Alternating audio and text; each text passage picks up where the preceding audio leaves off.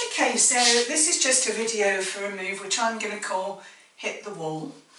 Um, its official title is a syncopated side undulation.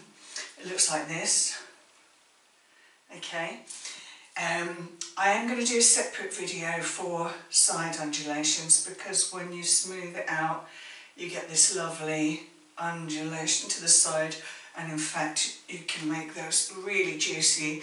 So that will be a separate video but this move will be the basis for it. Um, the reason I'm calling it hit the wall is we're going to imagine that we've got an imaginary wall to the side of us. Now this wall for some reason allows arms to go through it so our arm and our shoulder can go through the wall but the rest of our body can't. Okay and we're going to try and hit the wall with, first of all, our, the side of our hip, then the side of our chest, and then our ear. Okay, so we're going to start by taking a step. Now, it's important, especially when you're trying to learn this move, not to do a big step because you're going to get really off balance. So it's just a small step really. You need a nice bent knee here um, and to make sure that your pelvis is neutral, okay? We're going to just simply slide. So we're sliding our hips horizontally until this hip hits this imaginary wall. Okay, so we slide. Now we're going to try and hit the wall. So we've left the rest of our body behind. So we're just sliding that hip. Now we're going to hit it with our side of our chest. Remember now arm and shoulder go through it. So we're keeping our hip there and we're going to bring our chest to the wall.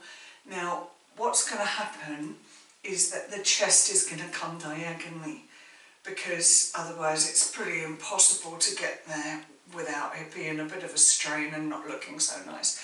So we're going to allow, we're going to do a chest slide, leaving our head behind. We're going to allow it to go diagonally.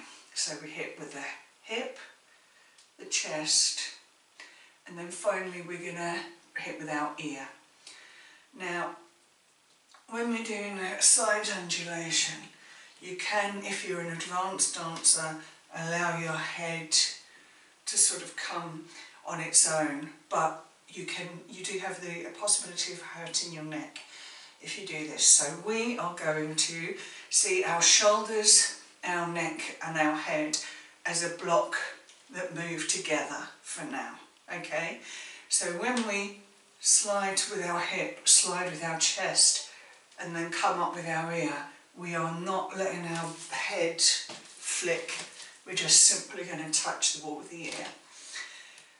Now, remembering that we're having our ear kind of in line with our chest, but it isn't quite um, in line. So when we're coming here, we've got to be careful that we don't overshoot and lose our balance because our ear wants to stay in line with our shoulder, we need to keep it in line with our chest, just inside of our chest in fact.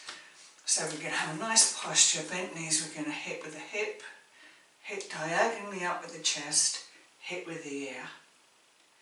And then we're going to have our weight on this foot which allows us to then move off on the right foot. So let's look at it one more time. We're going to slide with hips, chest, ear. Yeah. And if we go a little faster, boom, ba-dum. Yeah. One more time. Boom, ba-dum. Lovely. I'll do the um, video for side undulations now.